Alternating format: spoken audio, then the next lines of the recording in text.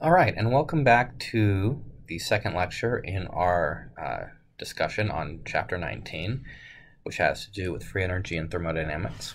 And picking up where we left off, we're going to be discussing a little bit about absolute entropy and uh, the third law of thermodynamics. And then we'll transition into more discussion about uh, free energy and variations on that theme. So, right off the gate, definition absolute entropy absolute entropy is a substance of a substance is the amount of energy it has due to the dispersion of energy through its particles. And we've been discussing microstates, macrostates, and the more ways you can disperse energy through those two things, the higher the entropy. What the third law states is that uh, is variation on this or clarification is that entropy for any perfect crystalline substance is zero at zero degrees Kelvin. And this is a really important definition because when we're talking about ways energy can disperse through all these different microstates and macrostates, at zero degrees Kelvin, we have no thermal energy. There's no energy associated with excitation of particles. And because of that, and the lack of excitation, there isn't a mechanism for dispersion of energy, regardless of number of possible states. Therefore, the entropy has to be zero. So remember, for any crystalline substance at zero Kelvin, entropy is zero.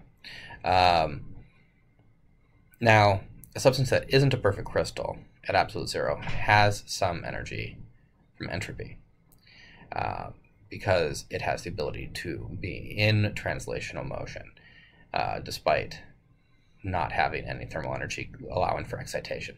However, its entropy is going to be incredibly low at zero. So, moving along,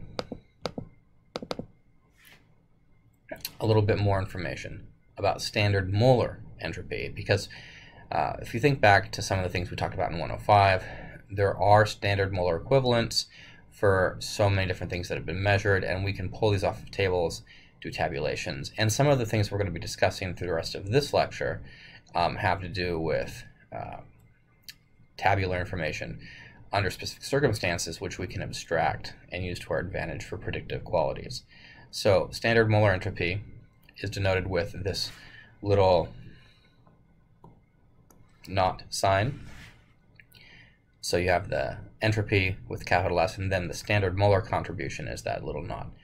And this is an extensive property. So standard mole entropy values are for one mole of substance at standard temperature, 298 Kelvin, for a particular state, which has to be defined, a particular allotrope, a particular molecular complexity, a particular molar mass, and a particular degree of solution.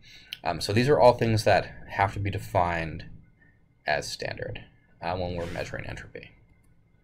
And these are a variety of the uh, standard molar entropy values, joules per mole Kelvin, for different gases, liquids, and solids. And these are just examples. Obviously, there's no expectation of you remembering any of these specific quantities. The point being, you should be able to abstract trends from these tables for predictive um, questions, as well as be able to pull specifics from these tables to uh, solve different problems that you may face. So, uh, when we're going to follow up with is some of those trends that I've just mentioned. So some of these trends include that for standard molar entropies, state makes a huge difference in the degree of standard molar entropy. So an example, gas states have much higher levels of entropy than liquid states. We've discussed this a little bit, but this is an actual value attached to that trend. And liquid states have larger entropies than solid states. And this example below is just looking at the difference between liquid water and gaseous water. Uh, liquid water has a standard mole entropy of 70.0 joules per mole Kelvin, whereas gaseous water, of course, is under standard state, 298 Kelvin, is 188.8 joules per mole Kelvin, which is more than twice the amount of entropy associated with liquid form.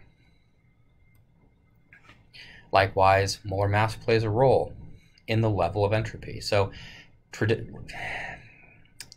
in terms of general trends, the larger the molar mass, the larger the entropy, because heavier atoms are closer to each other, allowing for the dispersal of energy through these states, um, when everything else is held equal, of course. So we're comparing helium to neon to argon uh, to krypton to xenon, you see a trend where the joules per mole Kelvin of relative standard entropy increases as the molar mass of these elements increase.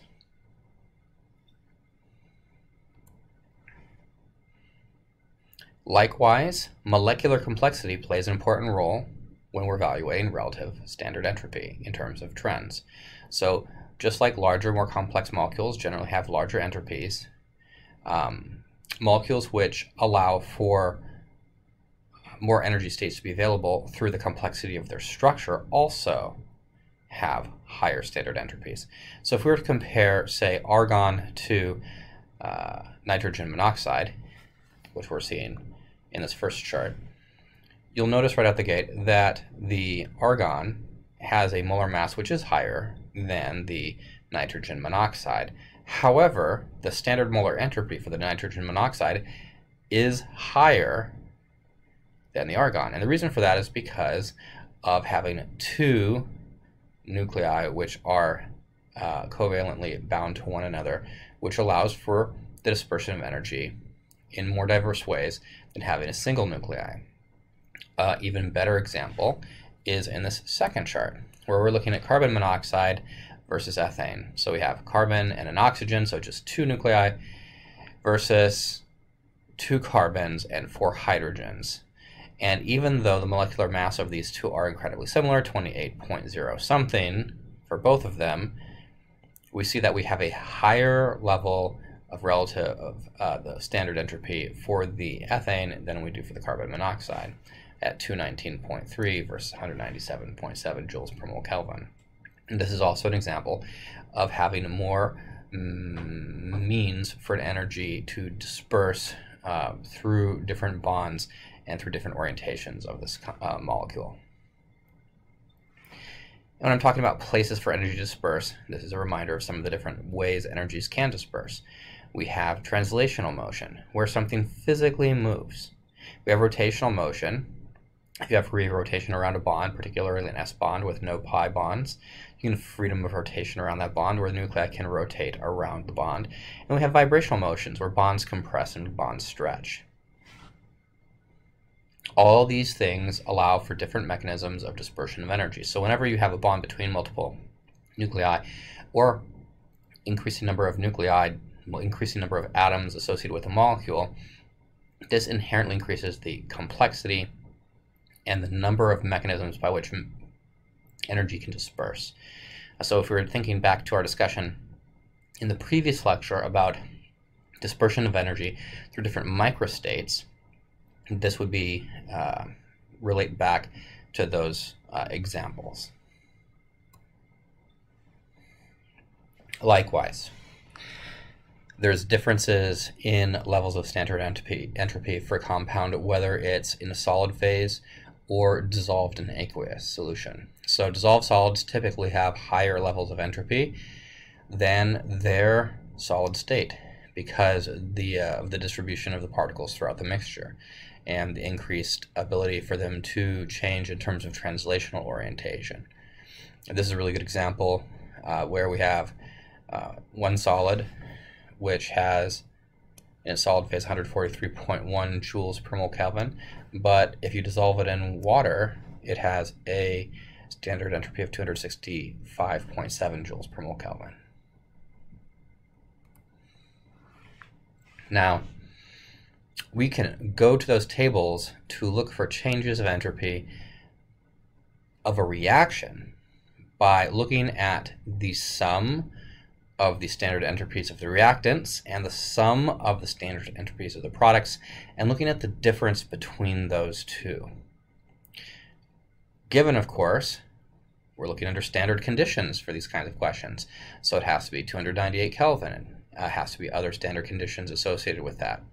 But as long as we're willing to assume or specify standard conditions, we can use these tables that we were just looking at uh, a couple slides ago to look at the standard change in entropy for any particular reaction under standard conditions.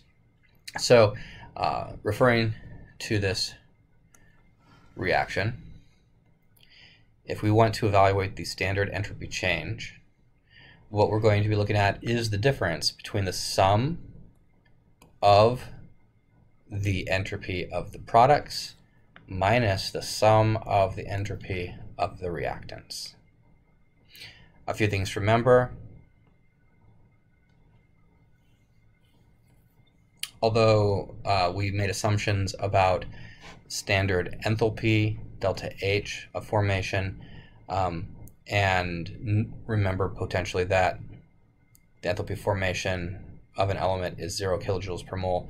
When we're dealing with entropy, we can't make that assumption 25 degrees Celsius because entropy will always be positive for this condition. So we need to go to that table. We can't make that assumption of 0 like we were for enthalpy. Uh, now, this gives us two different mechanisms by which we can calculate delta G, or standard delta G now, because if we're interested in calculating delta G under standard conditions at 25 degrees Celsius, we can go straight to the table and we can calculate delta G for the reaction under standard conditions for the same mechanism, looking at the sum of the free energy of the products minus the sum of the free energy of the reactants. However, if we're looking at temperatures other than 25 degrees Celsius, assuming the change of the enthalpy and the entropy is relatively low, which is reasonable for small variations from 25 degrees Celsius, we should probably use the relationship uh, delta G equals delta H minus T delta S.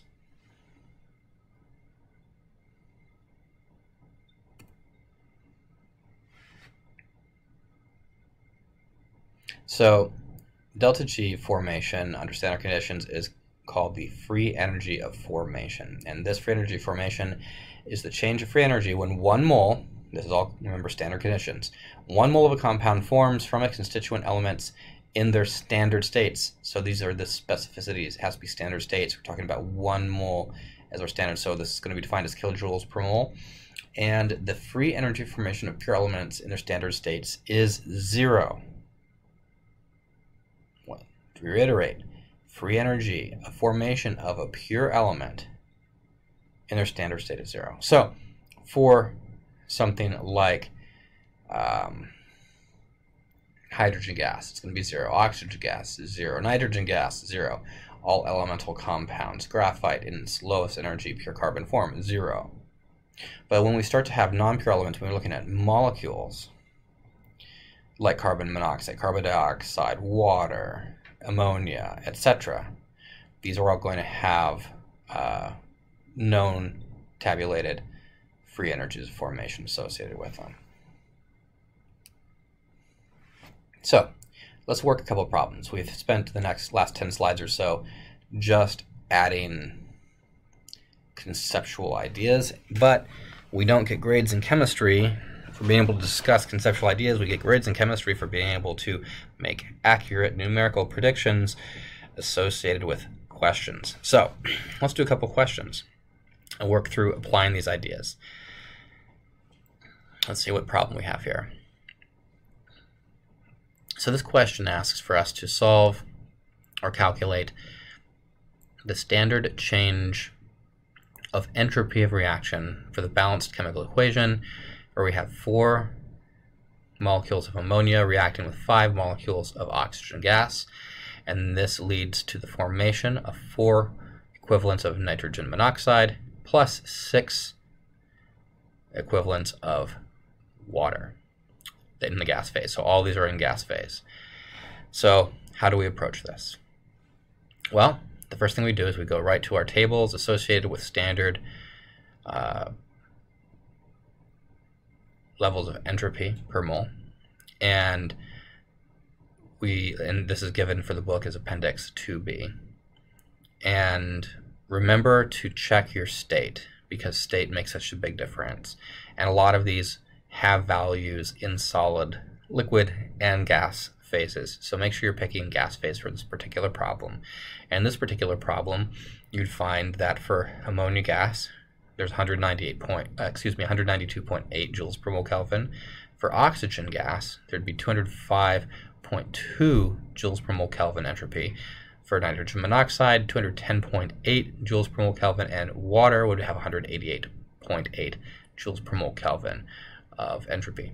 So what we would need to do is segregate these into the appropriate uh, reactant and product groups, and then account for the number of moles in the stoichiometric ratios. So in products, we would have NO, and for water, we'd have H2O.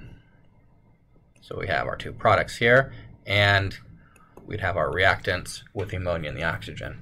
And for the nitrogen monoxide, we'd have four molar equivalents. For water, six molar equivalents. For ammonia, four molar equivalents. For oxygen, five molar equivalents. And this is what you see here in the second step. So we would get four times the entropy of nitrogen monoxide plus six times the molar entropy for water minus four times the molar entropy for ammonia plus five times the molar entropy, standard molar entropy for oxygen gas. And when we sub all these things in, accounting carefully for our positives positive and negatives, we would see that we would have a standard entropy of reaction for 100 of this particular reaction of 178.8 joules per Kelvin.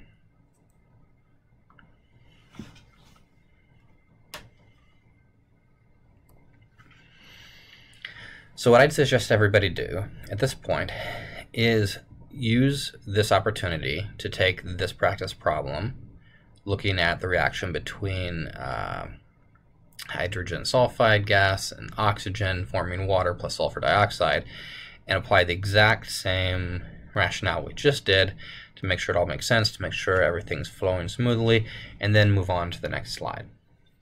Just give you a second here. Pause, work through it.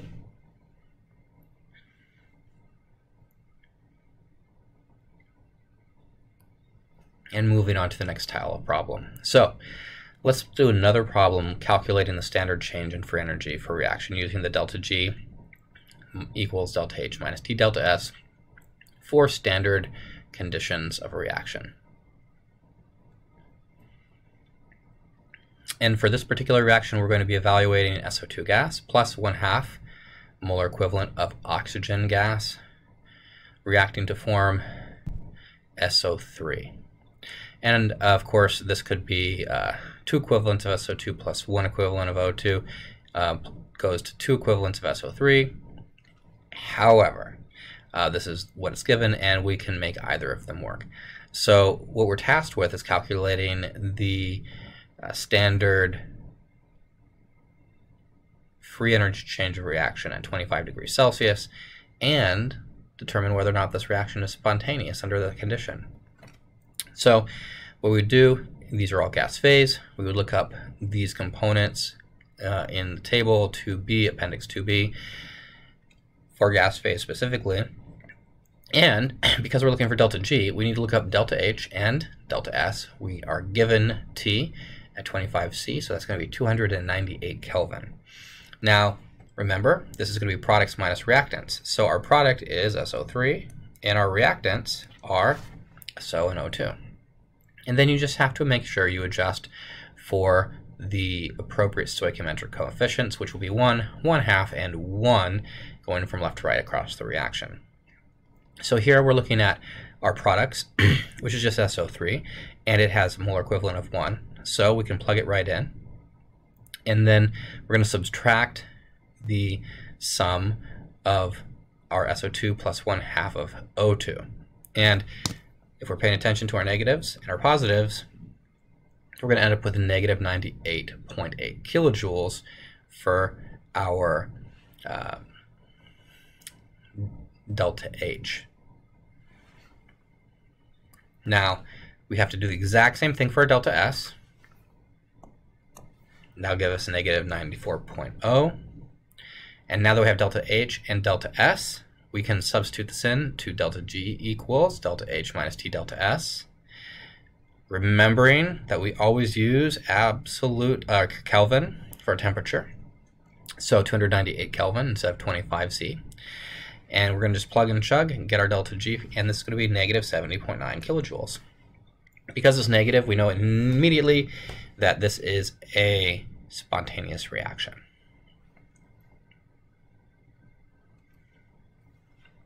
And here's another opportunity for you to practice this. Excuse me. And I encourage you to do so because there's um, easy to burn out just watching slide after slide. Take this opportunity, make sure that it makes sense, plug everything in, see if you can get through it, see if it makes sense, and then let's move on to the next one.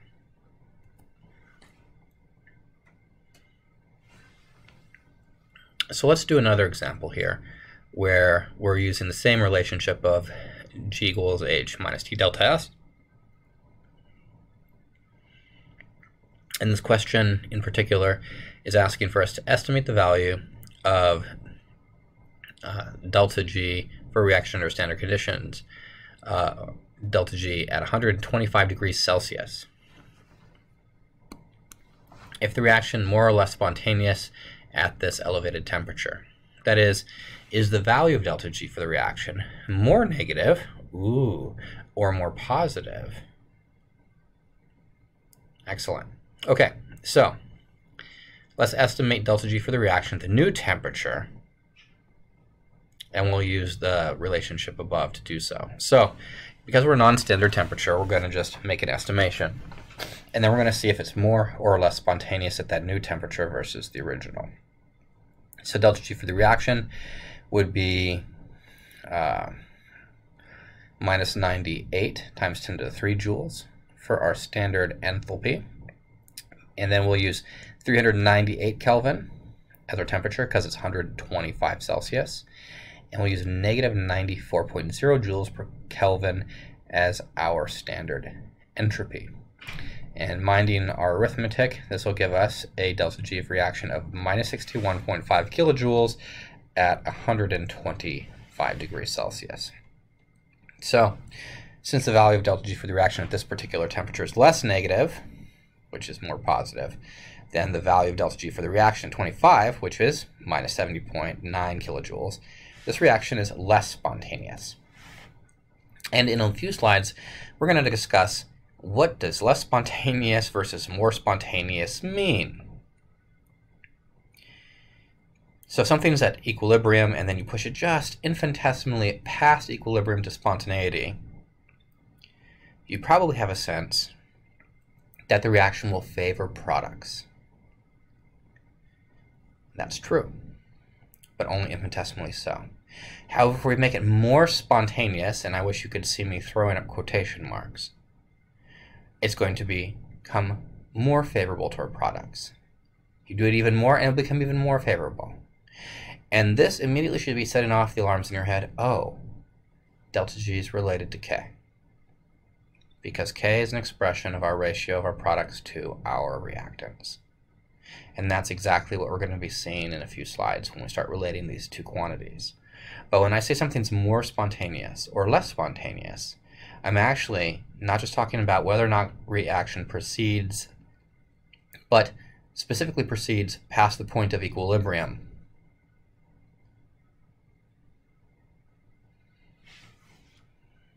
And whether or not products are favored over reactants. So, let's see here. Before doing so, let's just review some of these important relationships that we've been discussing with delta G. First point, if a reaction can be expressed as a series of reactions, the sum, so if you can link reactions together, which we've done in Chem 105, if a reaction can be expressed as a series of reactions, where the products of one reaction become the reactants for a subsequent reaction, and you can do this for two or three or four reactions, the sum of the delta value, G values of the individual reaction is the same as the delta G for the total reaction. So you can identify the delta G for each step and then just simply sum them because delta G is a state function. How you get from point A to point B doesn't matter.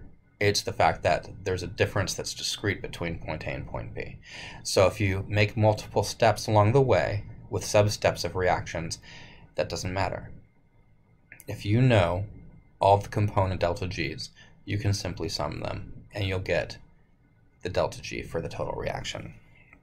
Likewise, if you know the delta G for reaction going forward, reading left to right, if you're interested in the reverse reaction, it being read from right to left, or you're thinking about a process in terms of its reversible applications, you just simply reverse the sign of delta G. So if reading it from right, right to left, it's negative x. If you read it left to right, it's positive x, or vice versa. Finally, if you multiply the amount of materials by a specific factor, let's say we've got our nice equations, everything's reduced to its uh, lowest integral value, like we typically do. But we multiply that by 5 times, we can simply multiply the delta g associated with that lowest integral factor by the same number. Um, so if everything gets multiplied in terms of the number of moles being consumed or evaluated in a reaction, that multiplication factor applies to our delta G exactly the same way. So let's look at a few examples of this really quickly. And I think everyone will, um, I, don't, I don't anticipate anyone struggling with this particular thing, but it's nice to just look through a few examples to make sure the concept's ingrained. So let's look at this general reaction. We've got three carbons in solid state reacting with four equivalents of hydrogen gas, leading to the formation of propane gas. And we want to find the delta G of reaction for this under standard conditions. Well, we can break this up into three sub-reactions. We can look that we have propane plus 5 oxygen leads to the formation of 3 carbon dioxide and 4 water. We have a reaction where carbon plus oxygen leads to carbon dioxide. And we have a reaction where two equivalents of hydrogen gas plus one equivalent of oxygen gas leads to the equivalent of two equivalents of water gas. So, importantly, note that we have some commonalities between these. We have CO2 here, and we have CO2 here. We have, let's see here, water here, and water here. We have a couple ways we can link these. So to work the problem, we just need to manipulate some of these given reactions, which have known values, in a way that gets us the information we need. And since this first reaction um, has propane as a reactant, and the reaction of interest has propane as a product, we're just going to reverse it. So notice we've got our propane here, and we've got propane here. Erase that really quick so we don't make this too messy. So what we're going to do is we're just going to write the first reaction backwards. So we're going to take reaction 1, just write it backwards, and reverse the sign of delta G. So instead of delta G being minus 200 2,074 kilojoules, it's going to become positive 2,074 kilojoules as newly written. Notice that the second reaction has a carbon as a reactant and CO2 as a product. However, the coefficient for carbon is 1, and in the reaction of interest, the coefficient of carbon is 3. So we're looking at reaction 2 here. Well, carbon and oxygen leads to CO2. Well, we've got 3 CO2 here. So we're going to have to multiply that by 3 to get everything balanced. And that's what we've done here. So instead of just being minus 394.4 kilojoules, it's going to be that times 3, which is equivalent to negative 1,183 kilojoules. Finally, looking at reaction 3, the coefficient for hydrogen gas is going to be 2. So we're going to have to multiply our standard coefficient for the hydrogen gas that we saw from the previous slide, where we only had a, we have two hydrogen gas here, and we're going to have leading to two waters, and here we've got the exact same thing, so got to multiply that by 2, And then when we stack everything together as transformed, you can see how everything cancels because we can cancel our products and our reactants that are redundant when we're balancing the equation. So our three carbon dioxides cancel, our three oxygens are removed from this one. We have two oxygens to remove as well, so these three and these two equal five. There go those five. Four waters, four waters. And we're left with three carbons, four hydrogen gas, and one molecule of propane. Our new balanced equation we're interested in, and our delta G for this reaction is negative 23 kilojoules. So, for fun, try applying some of these logical steps to solve the following problem. And once you're done with this, go ahead and jump on in to the next slide. So pause here for a minute.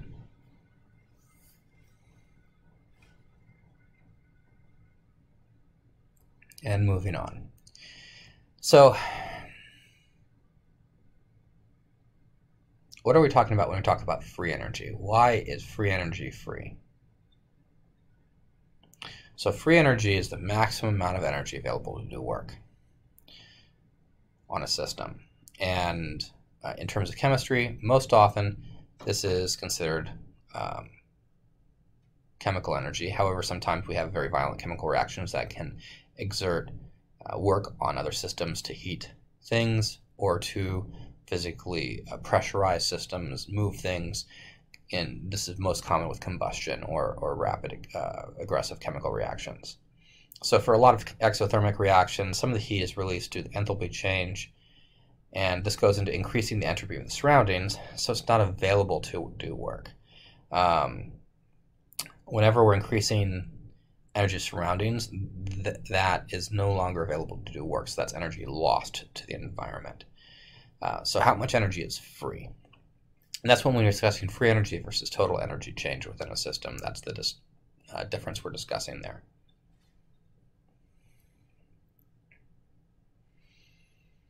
Now, we spent a whole bunch of time talking about standard conditions, but what happens if we need to specifically predict free energy for non-standard conditions? Well, the minute we're not at one atmosphere, one mole concentration and normal temperature, we don't have tabular information for that. And if we're not doing okay with approximations, we need to have an adjustment. So, under non-standard conditions, we can identify delta G by finding delta G under standard conditions. And then we have a correction factor with RT ln Q, where Q is the reaction quotient. Now remember, delta G equals zero at equilibrium, but Q is the reaction quotient in the moment. So let's do a quick walkthrough of what this might look like. So let's consider the reaction at 298 Kelvin, where we have two equivalents of nitrogen monoxide plus oxygen gas, forming two equivalents of nitrogen dioxide gas. And the delta G under standard conditions for this reaction, because we have that little naught symbol, is negative 71.2 kilojoules. So what we want to do is calculate the delta G for this reaction under non-standard conditions. If we have partial pressures of nitrogen monoxide of 0.1 atmosphere, of oxygen for 0.1 atmospheres, and nitrogen dioxide for 2.0 atmospheres. And then we want to find out, is this reaction more or less spontaneous under this condition than under standard conditions? So, first step, we got to figure out Q. So we're going to use the law of mass action to calculate Q. It's just like calculating K, where we're going to look at our ratio of our products over our ratio of our reactants. Of course, adjusting for our uh, molar equivalents. And in this case, our reactant is only nitrogen dioxide, in this case squared, because there's two molar equivalents. Our partial pressure of nitrogen monoxide, also squared, because there's two molar equivalents, and our partial pressure of oxygen are two factors that we put on our uh, denominator because that is our, our, our reactants. And then we can substitute our partial pressures in for these. In this case, 2.00 atmospheres for nitrogen dioxide, 0.100 and 0.100 for our nitrogen monoxide and oxygen respectively. And that will give us a reaction quotient of 4,000, or 4 times 10 to the third. So now we've got Q. So now we just need to substitute Q, T, and delta G under standard conditions into the equation to, cal um, to calculate delta G for the reaction under these non-standard conditions. So, whew, let's jump on in here. Um, delta G for the reaction is going to be under standard conditions, negative 71.2, because it's given right here. So we're going to plug that right in. R is our classic 8.314 joules per mole Kelvin. We're going to sub in at 298 Kelvin, so Kelvins are going to cancel right away. We see right here. And Q is going to be, well, natural log of Q is natural log of 4,000. So everything is going to go right to joules. And we're going to end up with a negative 50.7 kilojoules under these particular circumstances. So in this case, under these reaction conditions, we have a less negative uh, delta G under these conditions than we do under standard conditions. Therefore, this would be less spontaneous. Or, another way to view it, the products would be less favored than they were under standard conditions.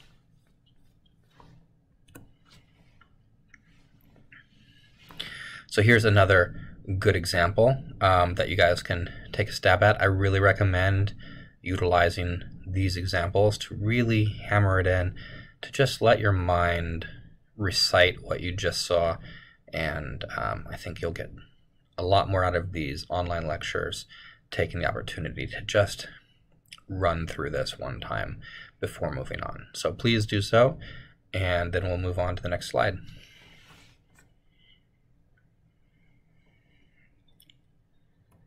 And we are almost there. I think we only have another three or four slides left on this lecture.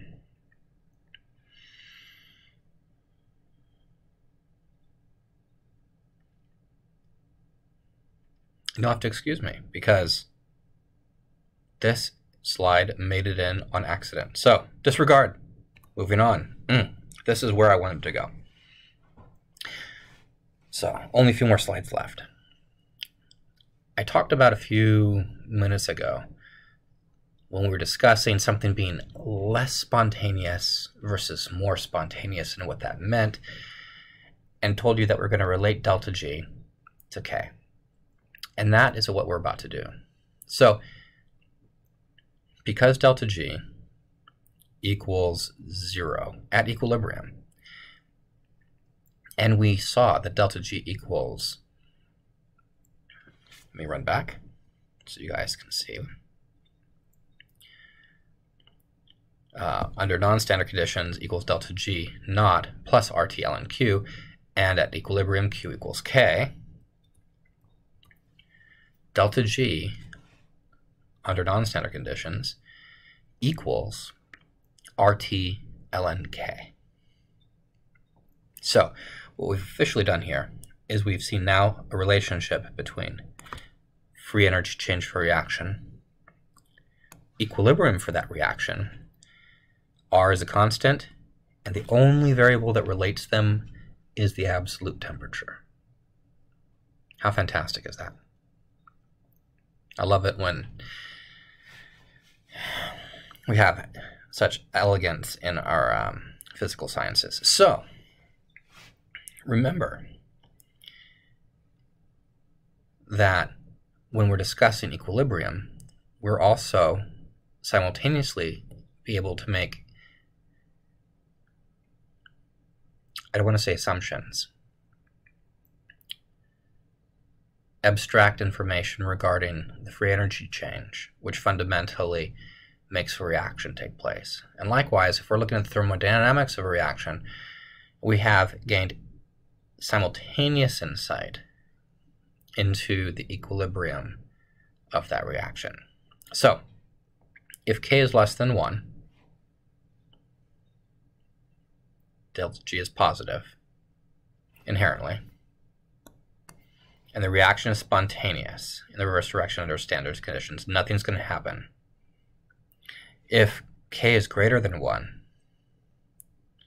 delta G is negative, and the reaction is spontaneous in the forward direction under standard conditions. And if K equals 1, delta G is 0, and everything's at equilibrium. So remember, delta G is minus, negative, it's spontaneous. And products are favored because products are over reactants. So it's greater than 1. If K is less than 1, that's because the reactants are favored over the products. The reaction does not proceed favoring products. Proceeds a little bit, just doesn't favor products. And under those conditions, delta G is going to be inherently positive, vice versa. In equilibrium, G is 0, K is 1.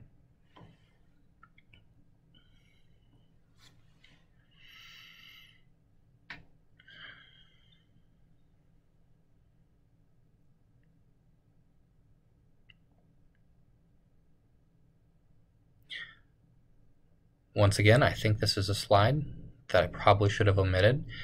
What we're really looking at here is whether or not at a specific point of a reaction, progress of a reaction curve, based on Q versus the K, predicting whether it moves towards equilibrium. But I don't think this is something that uh, we need to worry about because it's a little beyond the scope of what I'm going to be quizzing you on.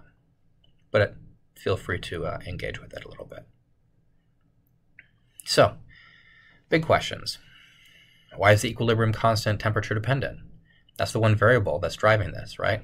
So if we take these look at these two equations, delta G equals delta H minus T delta S, and delta G equals negative R T ln K, we can set them equivalent to each other because both of them have delta G as a single term. So we can just make them equivalent to one another, and then we can rearrange to solve these in the form of a y equals mx plus b equation, where that's our y, that's our m, that's our x, and that's our b. So you can literally plot k versus inverse t, and from a linear plot of equilibrium at different temperatures, pull out delta H and delta S, and therefore be able to calculate delta G at any temperature for a reaction. Very cool model. Let me erase this for you guys.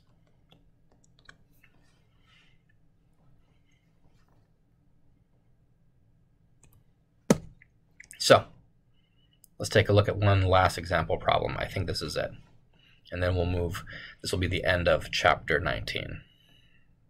So, let's use tabulated free energies of formation to calculate the equilibrium constant for the reaction, this reaction at 298 Kelvin. So N2O4 in gaseous phase is in equilibrium with two equivalents of NO2, also in gas state. If we look up in Appendix 2b, a standard free energy formation for each of these, see N2O4 gas has 99.8 kilojoules per mole, and NO2 gas is 51.3 kilojoules per mole. So what we're going to do is just look at our products minus our reactants, remembering that we have to adjust for the number of moles in our coefficients. And so for our products, it's going to be 2 times uh, the term for NO2, which is 51.3, minus 1 times 99.8. And wow, pretty close to equilibrium, but not quite, 2.8 kilojoules is our delta G under standard conditions for the reaction. So now we're going to calculate K from this by solving equation 19.14 for K and substituting the values of delta G for the reaction and temperature. So what we can do is just get our equation, rearrange to solve for K by pulling the natural log of K out, substituting what we've got and solving. And then you have to get rid of the natural log by raising both sides to e, and this will give us a equilibrium constant of 0.32, which is slightly positive. So you'll notice right away my first impression when I saw 2.8 kilojoules, I thought, man, that's awfully close to equilibrium. And K is also awfully close to equilibrium. So we're confirming this via both of our values. If you thought immediately, huh, delta G is awfully close to equilibrium, and then we got some oddball number which was way off of equilibrium for K, you'd probably have to double check your arithmetic. So what I'd recommend you do, take this opportunity, run the exact same process for this uh, example below, and that's going to be it for chapter 19. I'm going to put together uh, next week, early next week, a recitation lecture, getting you guys ready for some of the some additional problems uh, which may show up on the exam. And then we have one more chapter, electrochemistry, and that's going to be it for our Chem 106 experience. So uh, we're getting close, guys. I know we have a few holidays coming up. Focus, get your homework done early, use this opportunity to then subsequently practice some of those homework problems, use the recitation to then get even more specific studying done, going back to those homework problems and going into the examples in the book. And um, you guys are doing great. And I'll be talking at you again later next week.